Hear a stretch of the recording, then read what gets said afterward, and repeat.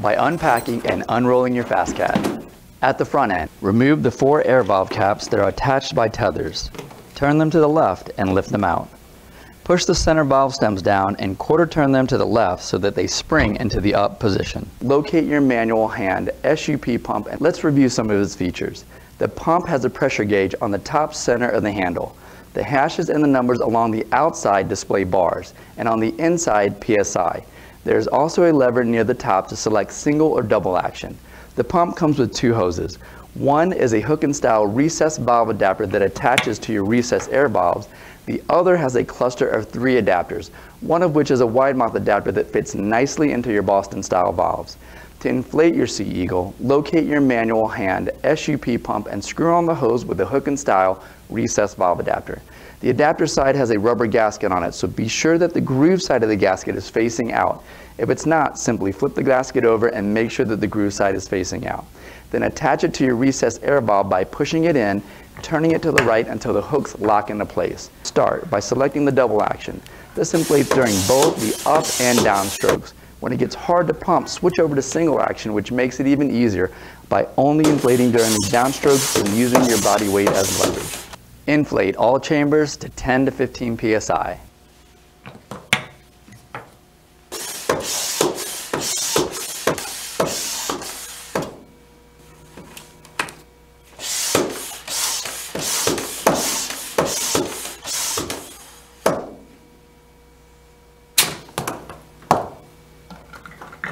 Sea Eagle offers a line of electric pumps to make inflation even easier. The BTP two-stage pump works best with the Sea Eagle FishSkiff 16, travel canoe, sports runabout boats, and other large inflatable hulls. To begin, screw the pump hose onto the red inflation port of the pump. On the opposite end of the hose, you'll want to use what's called the hook and style recessed valve adapter with rubber gasket. Now, if it's not already attached, locate the adapter and twist it on. Then press it against a firm surface to fully seat it. Make sure that the groove side of the rubber gasket is facing outward. If it's not, simply flip it over so that the groove side is facing out. Now, through the center pocket, you can connect the pump to the optional battery, which also comes with a wall charger. When charging the battery, the LED light on the charger itself will be red. When it's fully charged, it will shut off or turn green. Or you can connect the pump to the alligator clips and then to a battery source. Set the pump dial to the desired PSI setting. The black numbers and hashes on the outside measure bars, and the red number and hashes on the inside measure PSI. Now never turn the pump dial while the pump is actually running, as this could damage your Sea Eagle pump. Attach the pump hose to your recessed air valve by pushing it in and turning it to the right until the hooks lock into place. Then press the on button and your hand's free. The pump will automatically shut off once the desired PSI setting has been reached. Remember to only use Sea Eagle recommended pumps as they have been thoroughly tested for use with Sea Eagle products. Never ever use an air compressor as they can easily damage your Sea Eagle and possibly cause you bodily harm. Non-recommended pumps may also void your Sea Eagle warranty.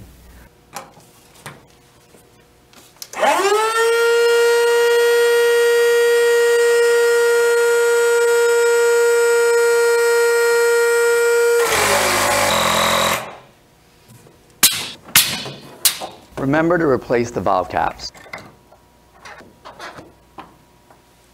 Now you're ready to install the transom. Locate the four hex head bolts, eight washers, and four knurled knobs included in your kit. You'll also want to have your half inch wrench or pliers ready.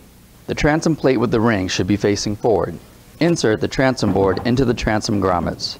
If it's a tight fit, use your screwdriver to gently pry the grommets apart a little. Starting with the floor, Insert a bolt with a washer through the rear of a grommet, through the transom, and out the front grommet.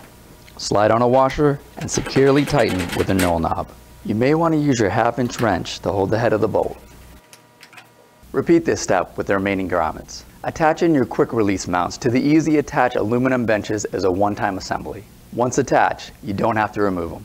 Locate your quick release seat mount, easy attach aluminum cross benches, and associated hardware included in your kit you should have four one and quarter inch fill flat bolts, four one inch flat washers, and four 7 16 nylon nuts. You'll also need your Phillips head screwdriver and 7 16 wrench or pliers. With a quick release lever facing one edge of the aluminum crossbench, Place it over the four holes on the aluminum crossbench. Take the four bolts and insert them through the quick release seat mount from the top down. Now tilt the aluminum crossbench back to be sure that the bolts slid through the four pre-drilled holes. Slide a washer onto the bolt, then screw on a nylon nut. Repeat this step with the remaining hardware and securely tighten each nut. Now it's time to easy attach your aluminum crossbenches to your FastCat. Let's start with the rear crossbench. Locate the four Phillips truss head bolts, four washers, and four knurled knobs included in your kit. Start on either side chamber. Position the easy attach D-rings inward and towards each other. Slide a washer onto one of the bolts, then slide the bolt up through one of the D-rings. Repeat this step with the remaining bolt, washer, and D-ring. Place a crossbench on top, making sure the bolts slide through the pre-drilled holes of the aluminum bench. And securely tighten each bolt with a knurl knob. Repeat these steps with the remaining end and with the front crossbench. Then slide and lock your swivel seats into place. Always check to make sure the seats are secured. To swivel the seat, pull the locking bar forward to free the seat. Push the bar back to lock it in place. To remove the swivel seats, push the seat back Lift up on the seat release lever and slide the seat forward and out. To reattach it, just slide it back in and lock it into place. Now let's review some of the optional additional accessories offered at SeaEagle.com. There are two Scotty pads at the rear of the FastCat 12, one on each side. To attach an optional Scotty Universal deck mount to a pre-installed pad, use 478 stainless steel field cap screws located in your kit. If you can't locate them, be sure to check your orange repair kit. Only use the proper hardware, as using incorrect screws may damage your Sea Eagle and possibly void your Sea Eagle warranty. With the arrow on the deck mount pointing inboard, use a Phillips head screwdriver to securely tighten the screws. Repeat these steps with the remaining Scotty pad on the opposite side. The Scotty Universal deck mounts can be used to attach a vast array of optional Scotty brand accessories, such as rod holders, triple rod holders, anchor locks, camera mounting post, and more. Both aluminum crossbenches have been pre-drilled with four holes on each end to accept optional Scotty Universal deck mounts. To attach the deck mounts, locate four 1-inch Phillip truss head screws located in your kit. Be sure the arrow on the deck mount is pointing inward. With the number 2 Phillips head screwdriver, securely tighten the screws. Then attach your Scotty brand accessory of choice. If you have the WaterSnake Advanced brushless 70 electric motor and or the Honda 5 horsepower 15 inch shaft gas motor, seat the motor onto the transom. Securely tighten the transom bolts and confirm the motor is secured in place. Protecting yourself against the elements is extremely important and the Sea Eagle canopy is a great option. Start by unpacking the contents of the canopy box which includes the canopy canvas, two U-frames, two scissor support bars with pre-attached adjustable straps, and the associated hardware. Unfold the canvas of your canopy and place it in front of you with the top of the canvas, the rough side facing up, and the smooth side facing down. Next, fold the ends towards the center and position it so that the center cutout is towards the front of your hull. Lay the U-frames on top of the canvas in line with their sleeves. You want to be sure that the pre-drilled holes of the front frame are facing up and the rear frame are facing down. Feed the front frame through the front sleeve. This is what it should look like with the holes facing up. Now repeat this step on the opposite side and this is what it should look like with the holes facing down. Now flip the rear end of the canopy over and connect your scissoring support bars. The shorter bar attaches to the front and they will easily snap together. Attach the remaining bar to the rear and repeat these steps on the opposite side. Now take your canopy over to your hull for attachment. With a short scissor bar and canvas cutout facing up, line the ends of the canopy up with the canopy mounts on the FastCat. Insert your 35 millimeter screw and secure it with the plastic screw-on knob included in your kit. You can use a Phillips head screwdriver to help tighten the bolt if needed. Repeat this step on the opposite side. Attach the left rear canopy strap to the left rear D-ring and the right rear canopy strap to the right rear D-ring. Grab the left front canopy strap and walk it towards the front of your FastCat. Attach it to the corresponding D-ring attachment point and repeat this step on the opposite side with the remaining front strap.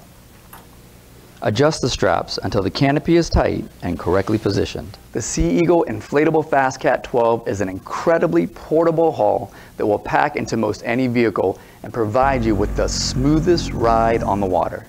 Packing up your Fast Cat is quick and easy. Remove the canopy, motor, Scotty accessories. Now the universal deck mounts can remain attached. Swivel seats, bench seats, and transom. At the front of your Fast Cat, lay out your boat bag face down and in line with your hull. Roll up the end flap closest to your boat and slide it close to the bow. Slide the bag towards the port or left side of your hull until the stern or right side edge of the center portion of the bag is in line with the center of your Fast Cat.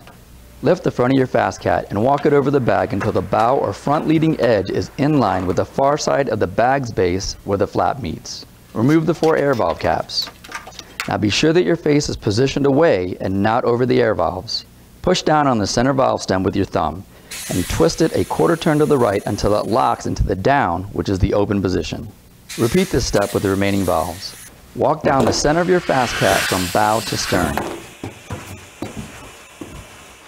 While standing on the center line, grab the starboard carry handle and fold it over the port side handle. All the handles should line up. Push out any excess air from back to front. With your foot, make a crease between the rod holder base and the rear crossbench D-ring. Lift the back end of the boat so it folds in between the rod holder bases and the rear crossbench D-rings. Notice how four handles line up. Make your next crease at the end of your fold.